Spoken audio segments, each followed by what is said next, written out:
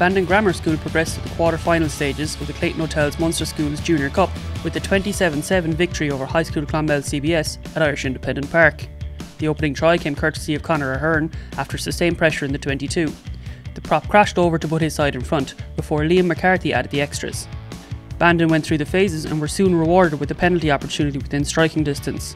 Out half Louis Archer extended the lead.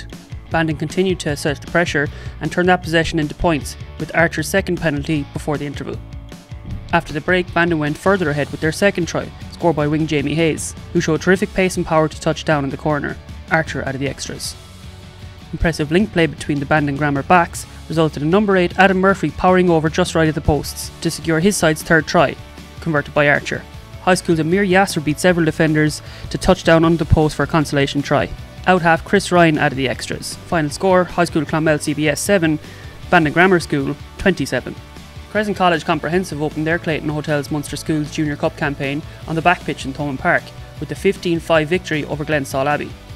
Crescent dominated the opening half and went ahead with an early penalty from Conor O'Halloran. Five minutes from half time, Keane Kirby got in for a Crescent try, which O'Halloran converted to lead the score 10 0 at the break. 12 minutes from time, Crescent made it 15 0 with a try from Jamie Duggan. It only took two minutes for Glenstal to reply with a try from Dermot Hughes. However, it was Crescent who advanced to the quarter-finals and will meet Bandon Grammar School next month. Full-time score, Crescent College Comprehensive 15, Glenstal Abbey School 5.